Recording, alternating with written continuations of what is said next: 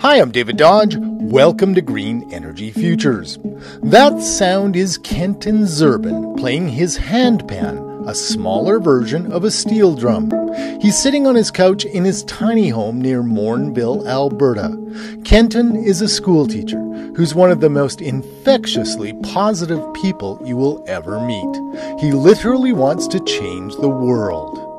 I started my career as a teacher. I kind of was like that whole feel good feeling, hoo ha, train the next generation. Uh, started in elementary and worked my way into high school.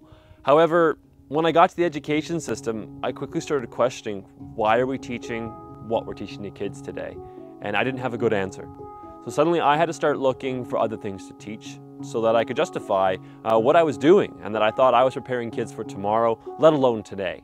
Climate change, ecosystem degradation, and the unsustainable development patterns of humans inspired Kenton to dig deeper. So I came across permaculture, which is a design science for how to design humans back into their physical and social world. And I went, this is amazing. It's all about homes, it's all about food, it's all about sustainable living, really. And uh, I went, yep, this is what I want to teach. So after getting my uh, design certificate in permaculture, I ended up bringing it back to a high school where I was still teaching, starting a permaculture club, and just changing some kids' lives. They were super stoked about the content. But Kenton felt he just wasn't doing enough to equip people to build a more sustainable world. However, it wasn't enough. I was doing this as a club, and uh, I wanted to do more. So when my contract finished, I went to Australia and studied for a year, went and did an internship with a guy named Geoff Lawton, uh, went and did a, assisted a permaculture course with a guy named Bill Mollison, and uh, ended up coming back home after that year, ready to kind of start my business up and do educating people about permaculture and sustainable living. Permaculture is becoming very big around the world, and Kenton's mentors, Geoff Lawton and Bill Mollison, are the gurus of permaculture. Kenton then traveled across Canada for a year, learning about sustainable homes, food systems, and communities. He calls this Life University. After that trip across Canada for a year, I actually got a job to go to Barbados. So uh, I started a school for permaculture in Barbados. Ended up getting UN funding, working with the government, and training over 100 permaculture designers on the island, which was a phenomenal experience. Coming back home from that, I decided, well, I should probably get a house that models what I teach and uh, what I'm all about and thus the planning for the tiny house began.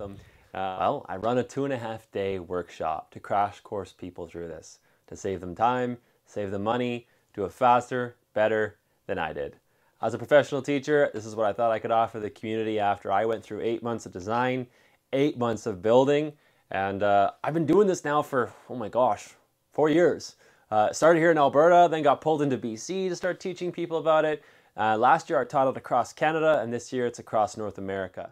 Kenton's involved in many aspects of permaculture. As a consultant, he's designed and gone hands on to help communities create food forests.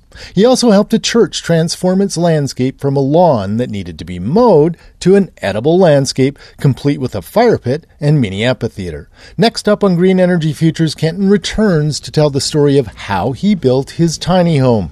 Learn more at greenenergyfutures.ca. For Green Energy Futures, I'm David Dodge.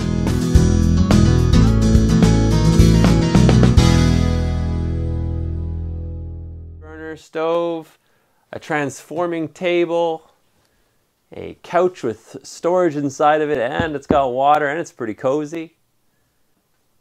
My beetle kill pine wood stairs. Going up to the master bedroom, which holds a queen sized bed, closed storage, laundry basket, garbage can.